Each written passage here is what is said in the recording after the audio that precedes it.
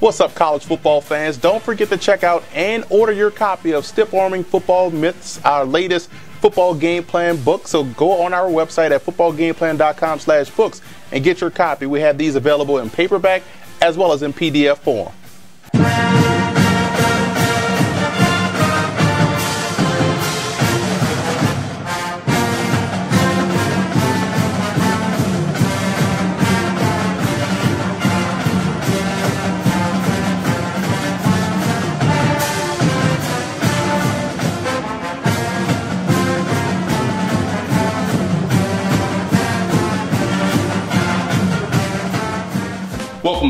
footballgameplan.com where football makes sense. I'm Emory Hunt, the czar of the playbook, and we're here for another edition of Get Coached Up. I'm here with BJ Hall, who's the assistant coach, the offensive coordinator at Canterbury Prep here in Pinellas County, and also owner and founder of Team Florida 707 Squad here in St. Petersburg, Florida. BJ, thanks for joining us today. What am I getting coached up on today? Oh, well, you know, I'm going to give you a little bit of, you know, what I've learned in the Canadian League. I'm going to show you what I've done here at Canterbury Prep. And also, we'll go over some arena football plays as well. All right, let's get coached up. Let's do it right now. Uh, we got 50 Ray. Uh, Ray means on the right side. Uh, we like to run out of open. Okay. Um, Cause we run a lot of audibles out of our open set. So I'll draw it up now.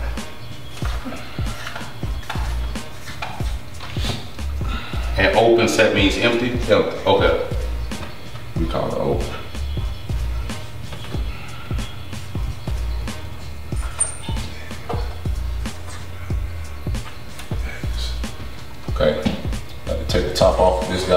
Our Z outside. Mm-hmm. Our Y, he pretty much has an option around 12 yards.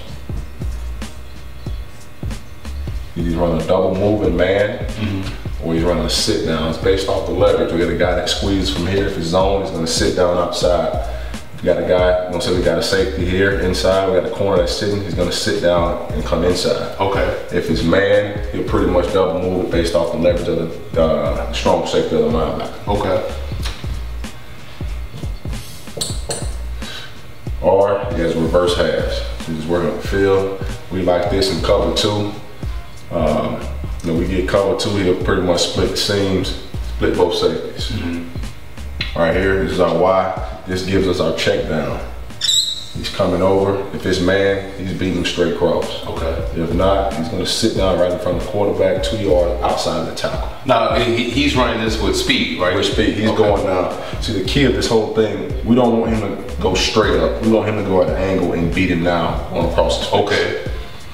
Backside, pretty much our hot throw. We mm-hmm. get cover zero blitz. We like to hit this right now. We get third and three, and they don't blitz, so it's second and 5 We like to hit this right now. You know, this is this guy right here is pretty much is a good route runner, nice size guy who has pretty good hands. You know, security blanket for us. Now, your Y, how does he differentiate between your Z and your R?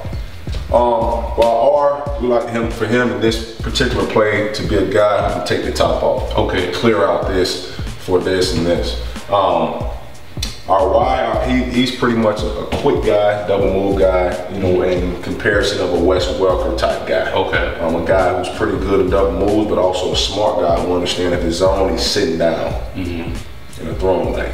All right, what we got next? Um, I'm gonna take into some arena football. Okay. Um, Now, the, the concepts mesh a little bit, right? In different, certain passing concepts, right? Yeah, certain kind of concepts do mesh, but it's a little different. It's- Okay. It's, it's a lot different. Um, three down lineman. Mm-hmm. Here's our Y. Our Z. And our X is here. We have a quarterback and a fullback.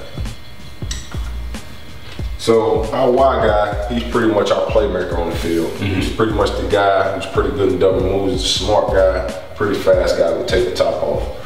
So we like to run him on what we call POCO, which is an option route, Okay. which is a post or a corner based off the leverage of the safety. Okay, that means post, corner, okay. Right. So it, we call this a waggle. So he's starting from back here. Mm-hmm. You know, he's working. He can come from over here. He can come from wherever he want. But traditionally, he'll start from here, come here at about eight to 10 yards, and he's either breaking post or corner. Mm-hmm. And we like him to be smart, we like him to be a vet guy because based off the leverage and the lift of the safety, it's not always high angle. We like for the guy to stay high angle, mm. but when you don't pay to quarterback, you understand, you know, we got a guy who maybe he's a rookie, maybe he's young, he likes to get out of there and bail. Mm-hmm. You know, throw him flat to the sideline. Okay. And pretty much it's pretty simple six yard hitches on the outside. Because um, you don't want you don't want those guys going deep into this. Exactly. Okay. So pretty much what we're reading here is this jack in this play. Jack linebacker, he's here. If he goes here, we're pretty much reading the hollow here. Okay. The jack linebacker, he squeezes here, we're gonna read the hollow over here. Okay.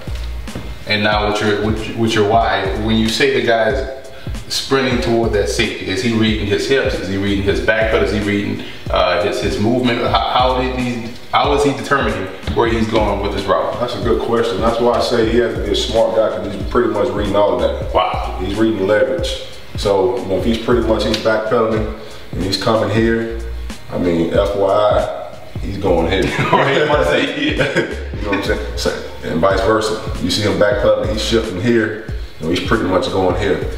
Um, you get a guy that pretty much does that and you see him going, he pretty much has help back here. Okay. You know what I'm saying? So you pretty much want to read high low this corner here. If he's here and this guy has help he's falling off, we're banging out there. But if we just so happen you want to, you know, keep it safe, mm -hmm. and you got a smart guy that's out here, that jack reaches, we're still fine because he'll just replace the jack and sit in his zone right in here. Mm -hmm. So we'll pretty much get back here. He bails. We don't like it. He runs that corner we're pretty much sitting on our back foot and waiting on this to open up in the zone. All right, so we did traditional, we did arena, now we're about to go north of the border and do a little Canadian, right? Yeah, man, we're gonna take it a little north.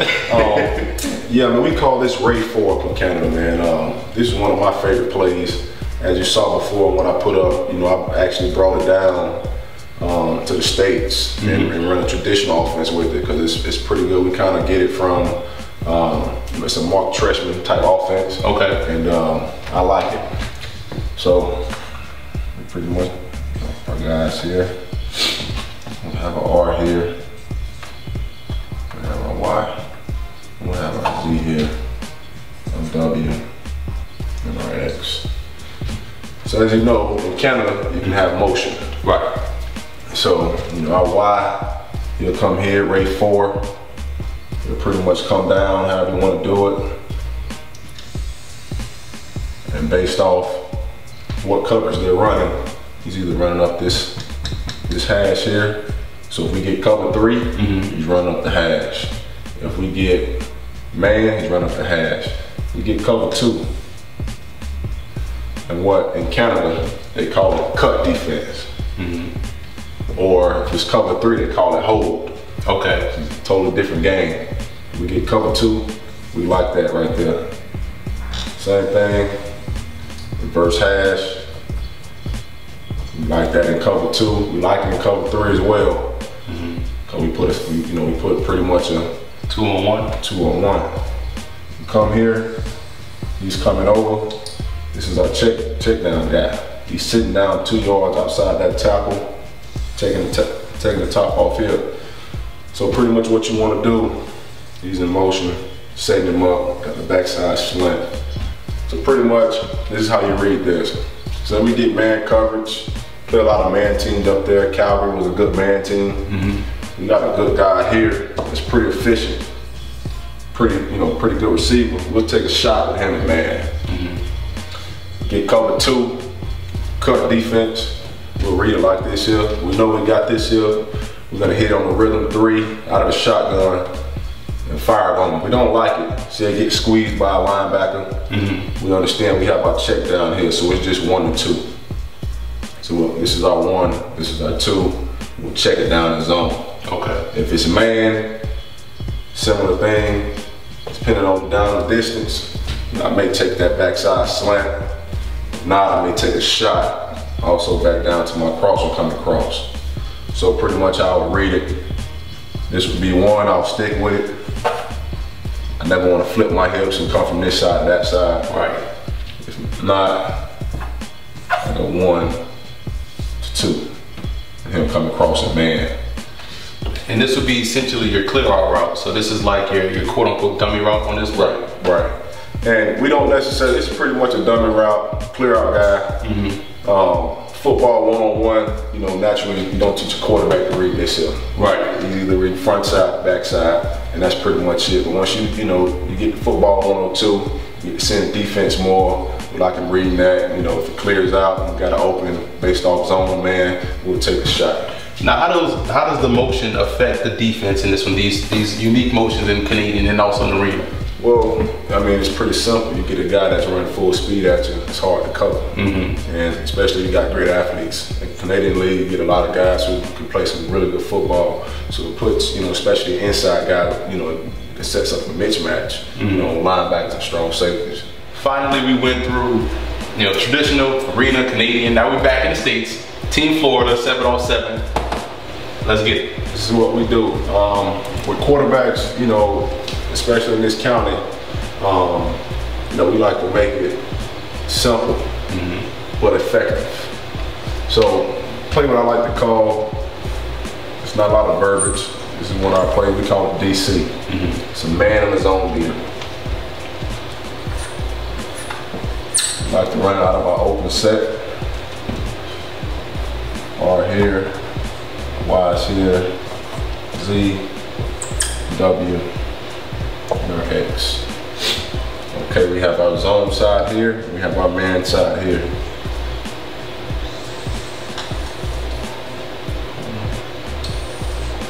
Whip.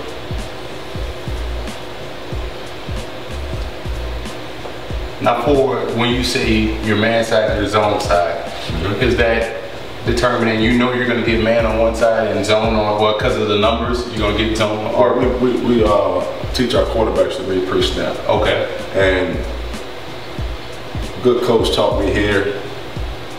This is your radical. We call it a radical. Mm -hmm. um, this guy comes in on the whip. He chases down. We understand his man. So I'm like our quarterback to peek over here that guy comes down with his whip, we understand his man, we'll stay to his side. Mm-hmm. But if his zone, we'll peek it, we'll come back to our zone side and let it develop. Okay. So we have our flat, get that linebacker out of there, got it back on him, at a 10 yard dig. And we have a 12 yard dig coming behind it. So pretty much, we get cover three, this backer shoots, We'll find a throwing lane right in the hand zone. If not, you know, we're reading that middle backer. We don't like it. He squeezes that. We'll open up to that second dig. Corner falls off. We'll hit that hitting that first window. Mm-hmm. This man, read over here, this corner, reading this, this corner, he comes down on the whip. We'll read it high low. Okay. So we'll reap the whip. This guy here, he beats him. You know, or he falls off, We'll take we'll take the whip off. They will take a good six yards based off. It was first and 10 mm-hmm. second and six. I like it. If not, you know, we see a mismatch out there. Mm-hmm. We'll take a shot. You know, with our slot guy. You know, that's pretty much DC right there, man. It's it's a play that uh, I feel is pretty simple but effective.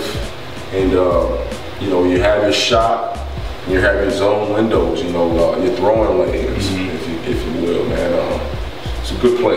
Now, play high school football. Now you look at this right here, and I'm, I'm a big fan of, of uh, I call them uh, replace routes. Yep. Where you have it, you did, and you know that people see him breaking routes. Yep. They go, oh, we gotta scramble to get that. Not realize you have something coming behind it. Is, is that the, the goal you're trying to? That's the concept. Okay. Because a quarterback, what he likes to do, if you know, especially young quarterbacks they don't like that. They like to get our eyes, and their eyes go to wandering, mm-hmm. and come back here. I don't like a quarterback to do that. I like a quarterback to stay front side. Wherever he's at, stay front side. Okay. That keeps you out of trouble.